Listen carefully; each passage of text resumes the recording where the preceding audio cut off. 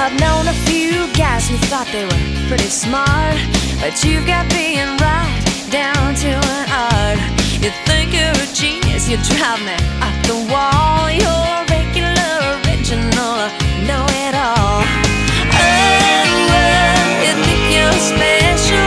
Oh, you think you're something else. Okay, so you're a rocket scientist. That don't impress me much. Got the brains, but got the touch? Now don't get me wrong, yeah, I think you're alright, but that won't keep me warm in the middle of the night. That don't impress me much.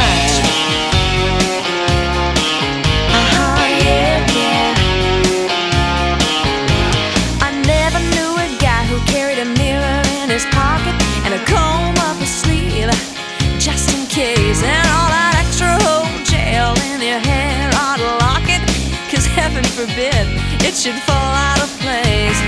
Oh.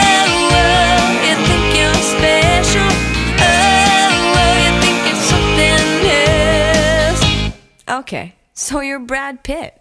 That don't impress me much.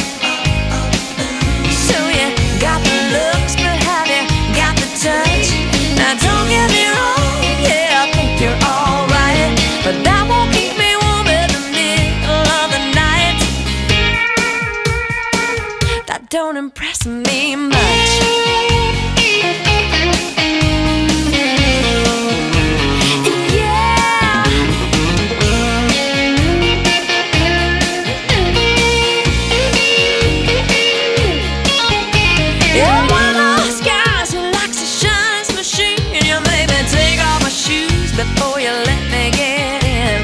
I can't believe you kiss your car goodnight.